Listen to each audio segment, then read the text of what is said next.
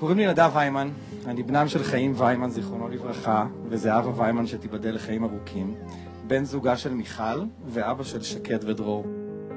אני גאה להשיא משואה אלטרנטיבית זאת בשם כל מי שבוחרים לשבור שתיקה. אני גאה לעמוד כאן בשם כל מי שבוחרים לעמוד אל מול הכוח ולדבר אמת. שבירת שתיקה היא מעשה של נשיאה באחריות, של הכרה בעוולות שביצענו. זה אקט שמכיר בכך שמה שהיינו עדים לו, מה שחווינו ומה שעשינו בשטחים, חייב להגיע אל הציבור הישראלי.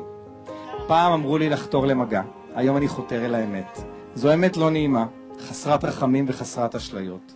אמת המופנית פנימה, אלינו, אל כולנו, ומספרת על המציאות שנמצאת רק מעבר לפינה, אך באותה נשימה גם מעבר להרי החושך.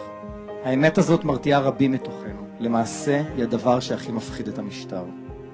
וכשהם מפחדים מהאמת, עלינו לדבר אותה חזק יותר, ברור יותר, ולכן חובה עלינו, החיילים והחיילות, שעמדו שעות על גבי שעות במחסומים, שפלשו לילה אחרי לילה לבתים של משפחות פלסטיניות, שירו כדורי מתכת מצופי גומי על מוחים כנגד הדיקטטורה הצבאית הישראלית, שמנעו מחקלאים פלסטינים למסוק את זיתיהם, שהפציצו את רצועת עזה מהאוויר ומהים, שהטילו סגר על הגדה המערבית כי יש חג בישראל, שירו על מפגין או חמוש, שאכפו משטר צבאי על מיליוני נתינים פלסטינים, אך שגם ראו את רגעי האנושיות, החמלה והפחד.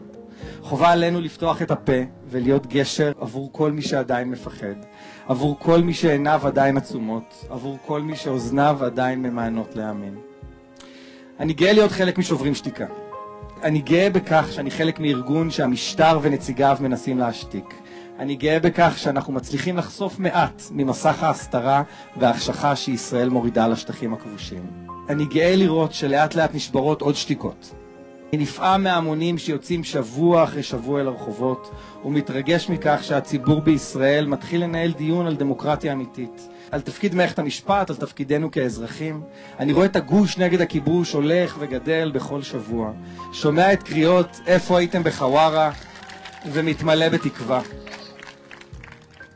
אסור לנו לשגות באשליות, דרך ארוכה עוד לפנינו, אבל אנחנו נעשה ונצליח. חשוב לזכור, לא משנה איזו ממשלה מכהנת, מימין, ממרכז או משמאל, זו חובתנו לאתגר אותה. להעמיד את ערך השוויון אל מול משטר העליונות, לפתוח את הדמיון הפוליטי, להזכיר שאין דמוקרטיה עם כיבוש, אבל גם לתת תקווה לעתיד טוב יותר, ולהציב חזון למדינה בה כולנו, יהודים וערבים, ישראליות ופלסטיניות, דתיים וחילונים, נשים וגברים, נחיה בביטחון ובשוויון. לתפארת ישראל העתידית, דמוקרטיה אמיתית, חופשייה מכיבוש וחופשייה משליטה על עם אחר. תודה רבה.